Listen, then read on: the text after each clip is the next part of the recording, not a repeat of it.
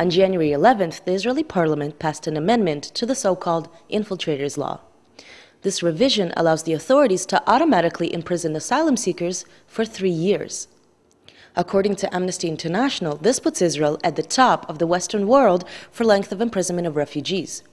Today, Israel is home to nearly 50,000 asylum seekers from Africa, 85% of whom are from Eritrea and Sudan. This amendment adds to a plan approved in 2010 to build a large scale detention facility for asylum seekers in the Negev Desert in southern Israel. This will be the biggest refugee prison of any developed country. The day this amendment was passed, hundreds of Israeli activists blocked major intersections in Tel Aviv.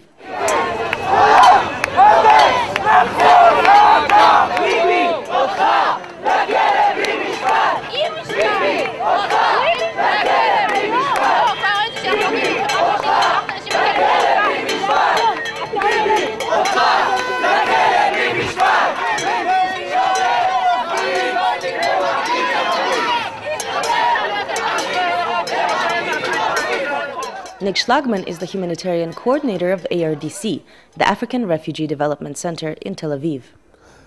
The main change that this new law will bring is the amount of time that the government are able to hold people in detention.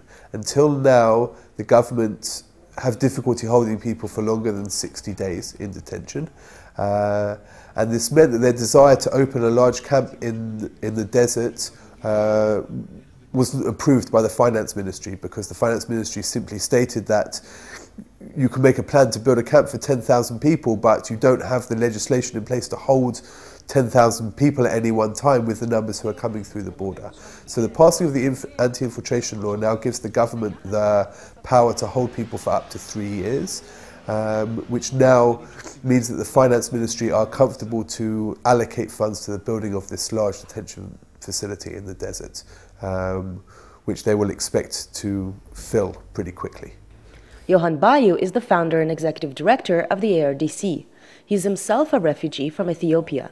Five, four thousand refugees were existed before 2005, but after Egypt killed some refugees in the demonstration in, in, in, in Cairo, those people felt they are not safe to live there and they start coming. And not only that, Egypt are deporting people where their life will be in danger. Bayu is one of a handful of asylum seekers whose refugee claim was recognized by the government. Most claims do not even get heard, but refugees from certain countries get group asylum, such as those from Eritrea and Sudan. Most, like Ibrahim, who's been in Israel for 10 years, end up in a gray legal zone, forced to renew his visa every three or four months. Originally from Eritrea, Ibrahim was born in a Sudanese UN refugee camp. Having lost his family, he returned to Eritrea, where he was forced to be a child soldier at the age of 11.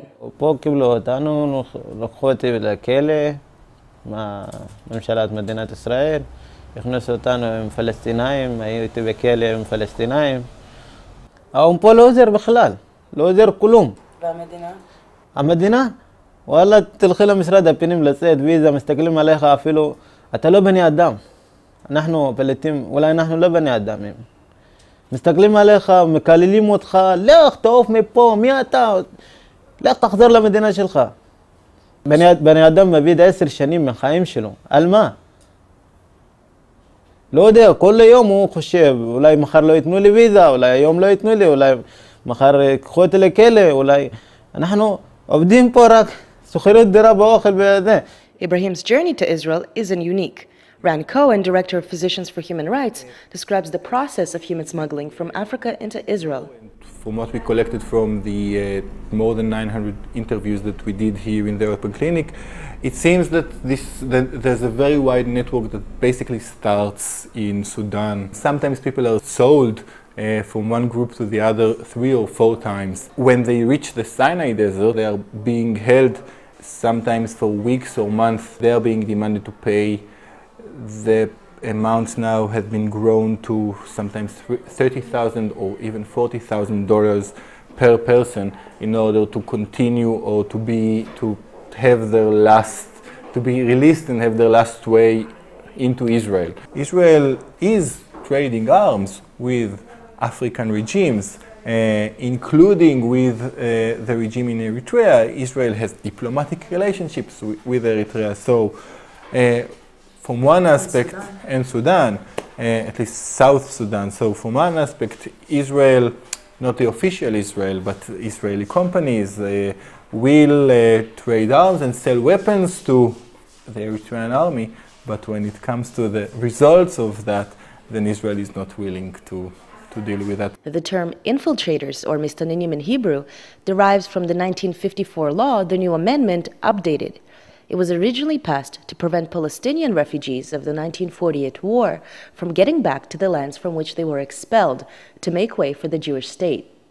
Because the refugees aren't Jewish, they can't immigrate to Israel and are instead subject to two laws the Entry to Israel law and the Infiltrators law. Under this system, once they make it across the border, asylum seekers are detained by the Israeli army up to 10 days and are passed on to the Saharonim prison on the border with Egypt. While most get released in a matter of months, the new amendment will keep them locked up for three years. And even if 10,000 people will be in detention, there will still be 40,000 people outside of detention. Uh, and according to current statistics, that prison will fill up within four or five months.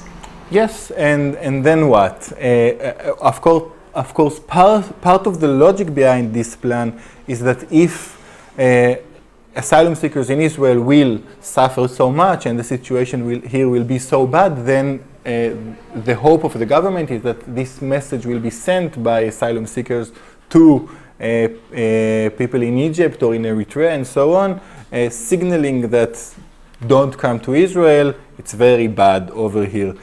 This year, Prime Minister Benjamin Netanyahu finally made clear his three point plan for dealing with asylum seekers imprisonment, punishment, and deterrence.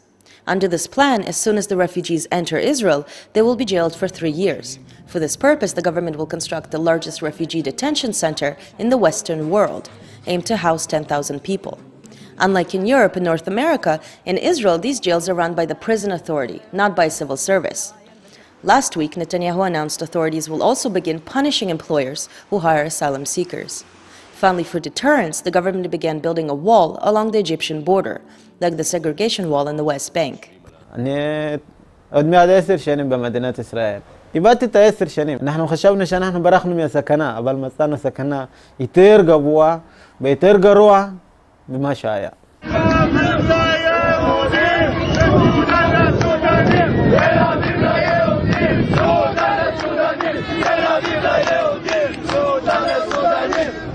was echoed by Netanyahu in a speech at the Manufacturers Association conference last year. A stream of refugees threatened to wash away our achievements and harm our existence as a Jewish and democratic state. ניסיתי לעזוב, נכנסתי לשדה תעופה, הזמנתי כרטיס טיסה, לקחתי כרטיס טיסה, נכנסתי לשדה תעופה, מחזירים אותי, אומרים, נתנו לי איזה חתימה, הלקוח לא עלה על המטוס שבעיה ממשלתית חוק בינלאומי. In a report for the UN High Commissioner on Refugees, Jonathan Paz writes the state's trial and error measures for dealing with refugees have shaped the sense of non policy, which has been described by others as chaotic bureaucratic ambiguity and governmental unruliness. However, behind this ostensible chaos or unruliness lies an ordering principle, which aims to deliver a clear and unwelcoming message. But according to Ran Cohen, the solution is both domestic and international. I'm talking about um, uh, checking individual cases, I'm talking about integration, I'm talking about uh, working in the origin countries to try and uh, maybe make the situation there a bit better uh, in order to uh, help people stay in their own countries and not choose to leave.